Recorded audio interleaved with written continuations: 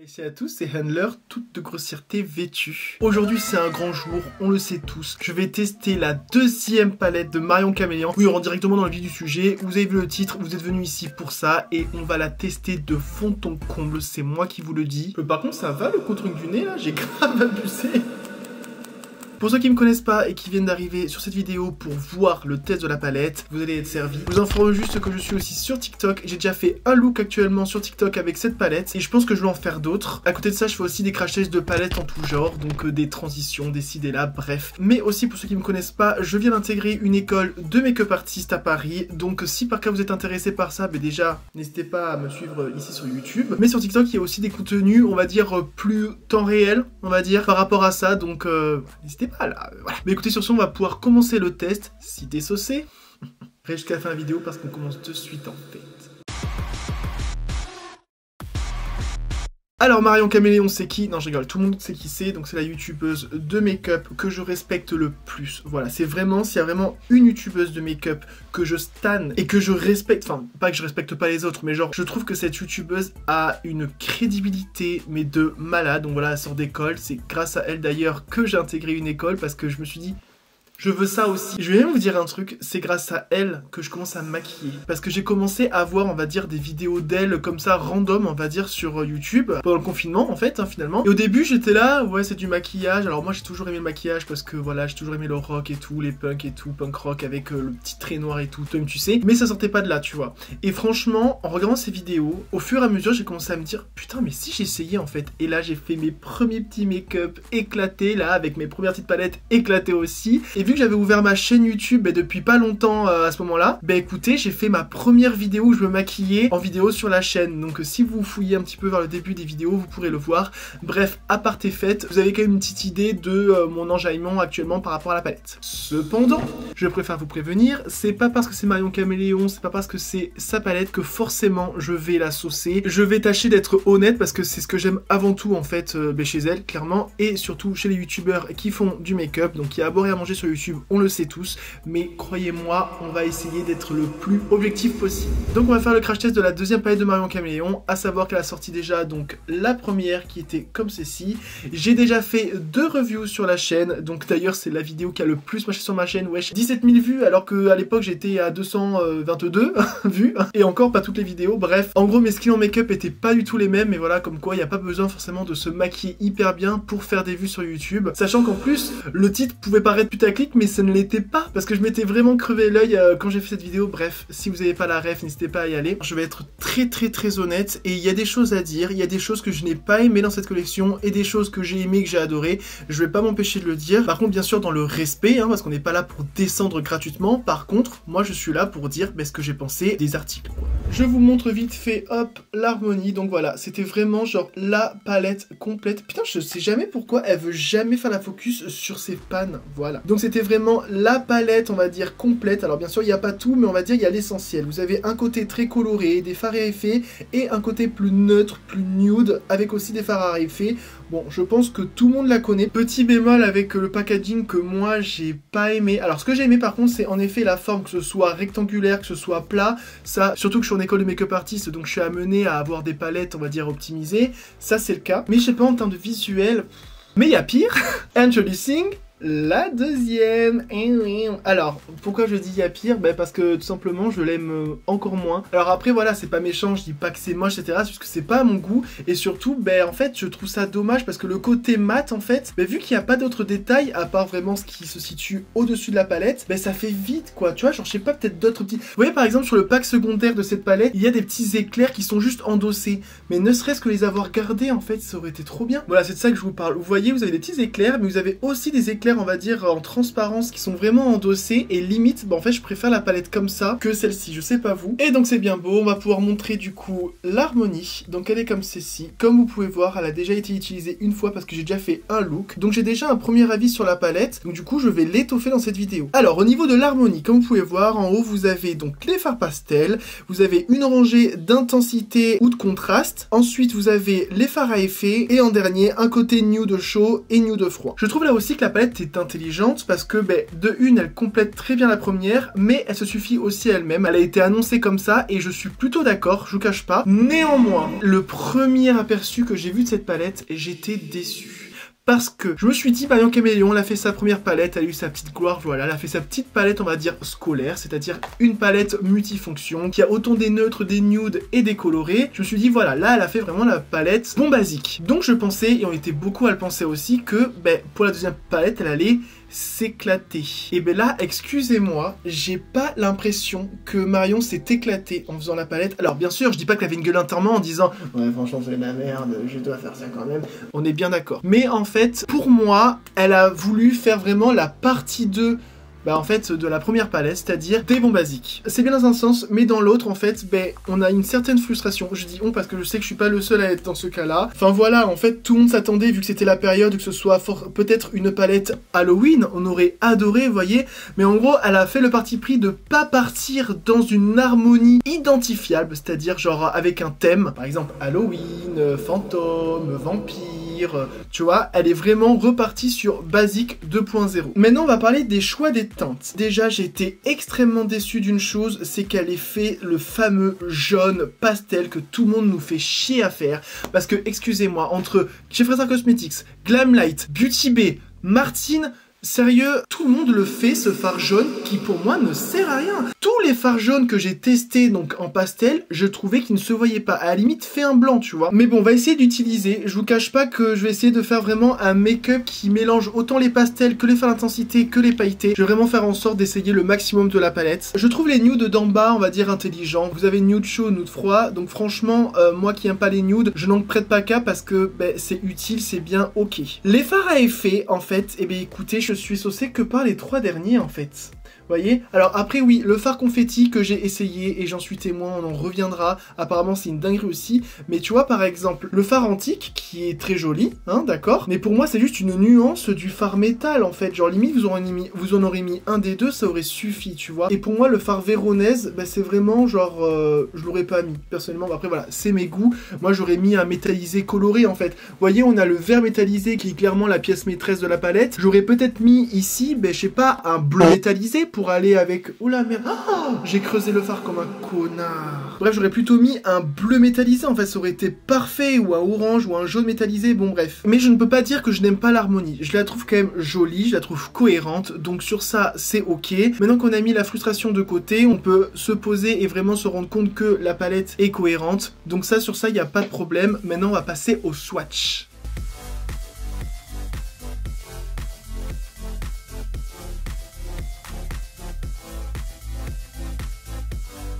Ok, donc conclusion, je trouve les fards très pigmentés finalement. Alors après, on va voir ça fait sur les paupières. Comme j'ai dit, moi j'adore les swatchs parce que j'aime voir, mais c'est pas pour ça que c'est représentatif à 100% que s'il y a sur la paupière. On n'est pas teubé, on le sait très bien, mais moi personnellement, ça me fait plaisir de les faire parce que ça me fait plaisir de les voir aussi dans d'autres vidéos. Agréablement surpris au swatch du jaune pastel parce que je me suis dit putain, je pensais pas qu'il se verrait autant. Du coup, je vais essayer de l'incorporer et on va voir un petit peu comment il se défend. Irisés de la crème. Par contre, voilà, c'est ça en fait qu'on attendait aussi avec Marion, on attendait vraiment qu'il ait des vrais fards à effet. Là c'est pas forcément des fards à effet, c'est des fards irisés, à la limite un petit peu pailletés parce que voilà. Mais qui dit Marion Caméléon dit bah on aimerait bien, on attendrait des duochromes etc.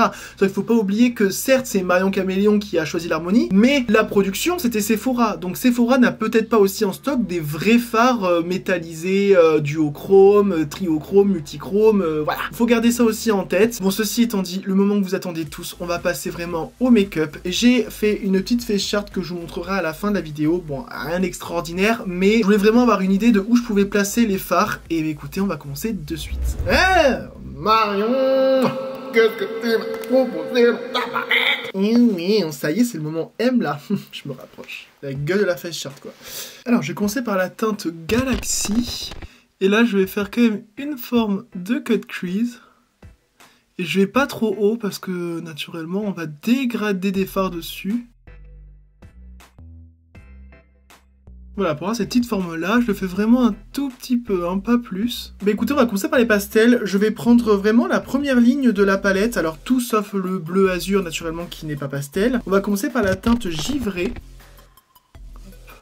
J'y vais avec un gros pinceau parce que je veux vraiment qu'il y ait... Waouh, plutôt sympa. J'adore ce genre de bleu bébé là. Ah ouais. Je continue donc avec le phare Diabolo.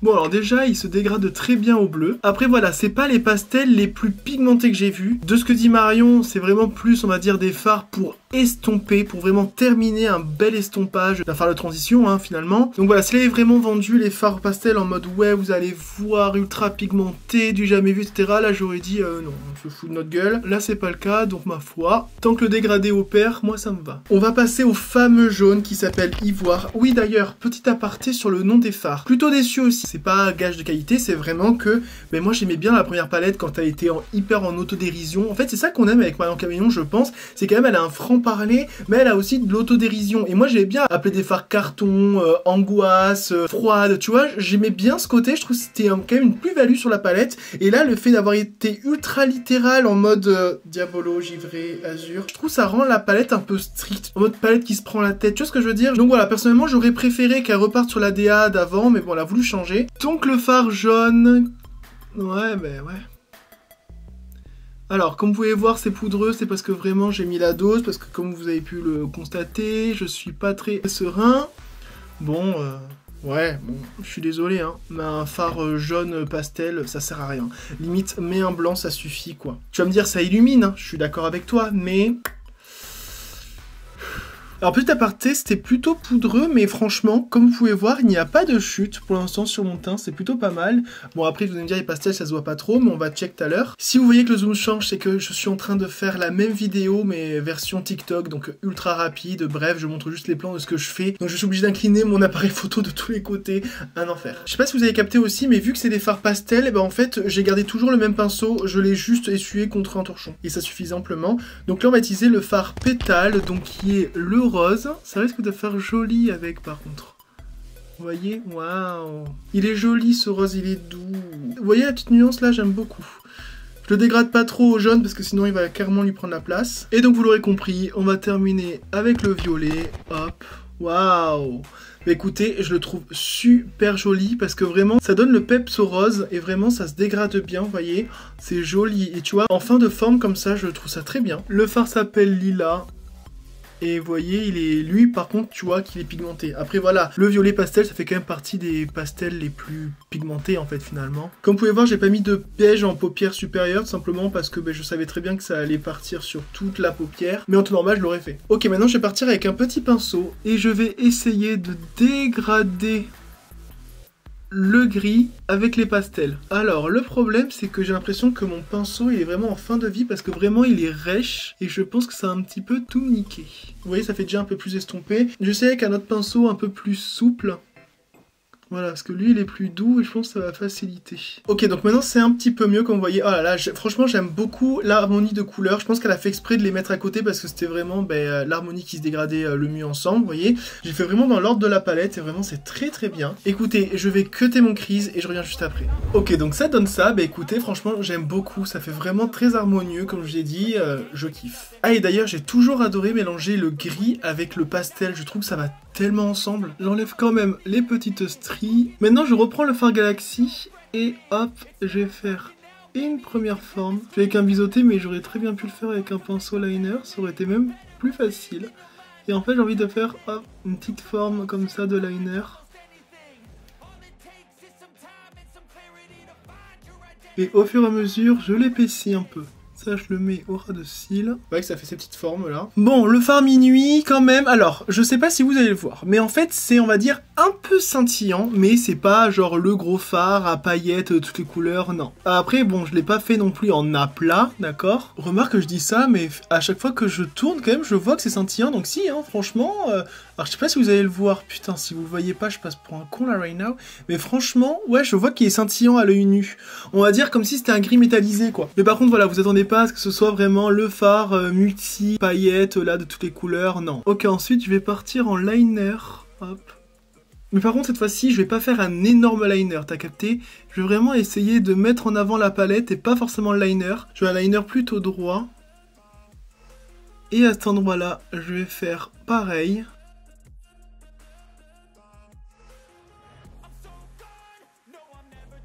Voilà, je pars comme ça, c'est très bien. Ok, donc on est là. Euh, franchement, j'aime beaucoup la forme. Par contre, je ne sais pas quoi mettre ici. Le problème, c'est que si je mets de la couleur, j'ai peur que ben, ça fasse trop, en fait. Ça fasse too much. Du coup, ben, je pense que en fait, tout ça, on va mettre des irisés, en fait. Voilà, comme ça on va tester les irisés. Allez, alors je vais commencer quand même sur la teinte du milieu. Qu'est-ce que je pourrais mettre? Après, le but c'est que ce soit quand même harmonieux avec le reste des couleurs. Déjà, je veux voir la différence entre le phare métal et le phare antique. Donc métal et antique. Ok, donc le phare antique, en effet, il est plus marronné chaud. Et le métal, ben, il ressemble un petit peu à un vert, en fait. Un peu bizarre. J'ai pas mis le phare jade, hein, je vous rassure. Et fais voir à côté le phare véronaise. Oui, non, là, on est hors sujet. Oh, c'est bon, je crois savoir ce que je vais faire. Ok, c'est bon, je sais. Alors, on va faire quelque chose de cohérent. Je vais commencer par mettre la teinte métal, que je vais mettre vraiment, hop, sur tous les côtés.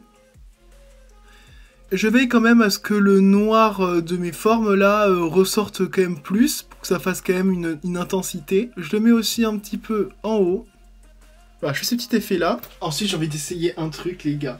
Je vais mettre la teinte azur. Oh là là et là, je tente de mettre le phare jade dessus, en fait. En fait, je voulais faire vraiment la différence entre le bleu et le jade. Alors déjà, pour l'instant, il se prélève pas. Ok, je vais changer de pinceau. Je pense que ça va être lui, là. Hop. Et en fait, je mélange les deux pour que ça fasse, en fait, euh, des reflets, en fait. Limite, je vais tenter d'y aller avec mes doigts. Ah ouais en fait, je voulais qu'il y ait cette nuance de bleu, en fait, dans le phare jade. Vous voyez ce que ça fait, là? En fait, j'ai créé un duochrome. ouais, en fait, c'est simple, en fait. Si vous voulez un duochrome, en fait, vous faites une base, une couleur, et vous mettez un irisé d'une autre. Je trouve ça super sympa comme euh, résultat. Après, voilà, est-ce que ça avec le look hein, C'est autre chose? Vous voyez, est-ce qu'on aime l'effet Bah écoutez, moi j'aime beaucoup. Avant de continuer, je vais quand même faire mon ras de cils inférieur, quand même et ça va être dans la continuité du liner. Et là, je vais utiliser la teinte confetti. Eh ouais. Il m'avait fait tellement bonne impression dans mon TikTok. Voilà quoi, je veux dire. Voilà. Il est incroyable et je le voulais absolument pour le coin interne et le coin externe. Regardez-moi ça. Voilà, en un coup de pinceau. Alors moi de base, c'est pas le genre de teinte qui me hype parce que j'aime pas, on va dire, les euh, transparents mais à effet chaud, tu vois. Moi je préfère les transparents transparents ou transparents blancs ou les blancs irisés, etc. pour le coin interne. Ben franchement, euh, ben, je suis pas du tout déçu en fait, regardez-moi ça. Et du coup j'ai même envie d'estomper mon phare du rat de cils avec pour vraiment que ça donne un côté illuminé. Regardez l'effet que ça m'a fait au ras de cils. Waouh Ok, maintenant que le travail de phare est fini, on va passer donc au crayon, au liner. Donc pour le crayon et le liner, en fait, ben, même pour le mascara, je teste le pack euh, Yeux de Beach de Martin Cosmetics que j'ai acheté ben, à la Samaritaine lors du meeting. D'ailleurs, j'ai une photo avec Gaël Garcia Diaz ici. Et une autre photo qui a été repostée sur le compte de Martin Skins. Été saucé. Donc le pack contient un col noir, le mascara atomique et le liner Yeux de Beach. En fait, à la base, je voulais acheter que le mascara pour tester, mais il y avait le pack, je me suis dit, ben, comme ça au moins je testerai le liner. Donc déjà, je teste le crayon noir. Ok. Non, je, vais chauffer un petit peu. Ouais, c'est mieux, mais c'est pas le plus noir que j'ai. Hein. on va dire que j'ai plus noir quand même dans ma collection. Ensuite, je teste l'eyeliner, donc... Oh là là Je vais tester l'eyeliner de Martine. Donc, moi, naturellement, ma seule comparaison, c'est le Epic Ink. La pointe déjà elle est beaucoup plus longue, j'ai remarqué. Ouais, il est pas aussi euh, liquide. En fait, il est plus rêche. Il est plus rêche que le Epic Ink. Hmm. Mais en plus, vous voyez, enfin, je trouve pas complètement noir. Et vous voyez, ce qui était bien avec l'Epic Ink, c'est que vu qu'il était quand même, on va dire, un peu liquide, mais en fait on voyait bien qu'il se déposait par-dessus. Là on est obligé de, on est obligé d'y aller et d'y retourner, qui est plus sec hein, clairement. Ok bon on a quand même réussi à se démerder. Hein. Je vais me faire une petite bascule.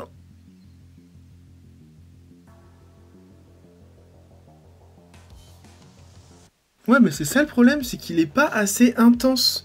Là, il s'est perdu dans l'intensité. En fait, le phare irisé confetti résiste, en fait, clairement. En fait, on est obligé d'y retourner plusieurs fois, ça c'est chiant. Maintenant, je vais utiliser donc le mascara. Et là, franchement, j'en attends beaucoup parce que pour ceux qui me suivaient déjà, vous savez, mon mascara préféré all time, c'est... Oula, ça me fait peur. C'est le Size Up de chez Sephora et moi je demande autant de la longueur que du volume et moi c'est limite que le volume que je veux en fait. La longueur je m'en branle un peu Mais c'est vraiment, j'ai envie d'avoir quelque chose, genre, euh, pas d'araignée, mais euh, stylé, t'as capté? Allez, on se lève. Ok, donc voilà la différence avec les autres. Bah écoutez, euh, franchement, bah c'est nul. Enfin, c'est pas que c'est nul, c'est que moi je dis que c'est nul parce que franchement, on m'a vendu le truc en mode ça fait du volume de ouf, etc. Ça fait pas du volume. C'est pas du volume, c'est ça définit, par contre ça se voit. Ouais, ok, on voit les cils, cils à cils, y a pas de problème. Ça fait pas du volume en fait, ça fait la longueur à la limite, mais pas du volume. Du coup, je suis un petit peu déçu, je vais vous montrer la différence avec le size up. Size up, size up. Comme vous pouvez voir, déjà, il y a plus de matière dedans. Voilà le size up. Alors, je sais pas si vous allez voir la différence entre les deux, mais moi je la vois, c'est flagrant et franchement, bah, je trouve ça un petit peu dommage. Ok, maintenant on va passer aux lèvres et là j'ai une idée. Je vais utiliser le Jeffree Star en teinte Restraints qui je pense ira bien avec. Alors je voulais pas non plus aller dans la couleur. Regardez ça. Hmm. Regardez ça. Hmm. Regardez-moi ça, ça va bien ensemble. hein. Eh oui. Ok, donc voilà pour le look. Qu'est-ce que vous avez pensé de la palette et qu'est-ce que vous avez pensé du look aussi Accessoirement, vous pouvez me le dire. moi personnellement, franchement, je l'ai bien aimé. Bon voilà, après moi je suis pas team pastel. Je me rends compte de plus en plus que je suis pas fan forcément des fards pastel. Après voilà, ceux-là ils sont très jolis. Néanmoins, enfin je sais pas si vous l'avez vu, mais j'ai l'impression quand même que ça s'est un petit peu estompé, enfin comment dire, désaturé. Même si de base le principe c'est pas qu'il soit saturé, mais vous avez capté. J'ai l'impression qu'il se voit moins qu'au début de la vidéo. Mais sinon franchement bah, le look en lui-même j'aime beaucoup. Franchement écoutez-moi bien. En fait j'ai fait une petite pause là juste avant. Je me suis regardé dans la glace avec le flash wesh toutes les paillettes qu'il y avait, ça, grouillait de paillettes, c'était magnifique. Là, franchement, pour ça, elle a dead. Si je devais quand même remettre en question sur une chose, c'est que franchement, au niveau de la forme, alors la forme est jolie en soi, sauf que j'ai l'impression que je l'ai pas fait au bon endroit et du coup, ça a l'impression que mon œil, il est comme ça. Donc ça, c'est clairement ma faute. En fait, j'aurais dû, je me rends compte après, j'aurais dû mettre, vous voyez, cet élément-là plus en haut, en fait, et que ça prenne ici, là, pas, que ça fasse vraiment cohérent, parce que là, on a l'impression que, ben, c'est un petit peu, voilà. Bon, bref. Après, sinon, franchement, les fards sont très très jolis et vous voyez le phare confetti sur le phare noir là, regardez comment il rend, oh là là, je sais pas si vous allez voir mais il est vraiment magnifique. Donc conclusion sur la palette, bah, écoutez, elle est très très bien. En effet, hein, la palette, c'est pas non plus le meilleur. Et moi, personnellement, je trouve qu'elle est de bonne qualité. Alors, je vais pas dire qu'elle est d'extrême qualité non plus. C'est pas les faire Natasha des Nuna, etc. Mais, ben, regardez, enfin, force est de constater que, ben, j'ai pas eu de problème avec mon make-up. Je pense que les pastels, il y a plus pigmenté sur le marché, mais euh, c'est pas non plus ce qu'elle demande. Franchement, j'ai aimé faire le make-up avec la palette. Donc, Marion, euh, si tu passes par là, n'hésite pas à lâcher ton meilleur commentaire en fait. Sur ce, je vous laisse ici. Je vous invite aussi à liker ma vidéo si vous l'avez aimé. Et surtout, si vous venez de débarquer et que vous avez aimé le contenu, n'hésitez pas à vous abonner, c'est très important. On essaye de, de, monter là comme on peut. Vous avez mon Instagram juste ici aussi. N'hésitez pas à suivre mon TikTok. Et je vous dis à la prochaine, tout simplement. Bisous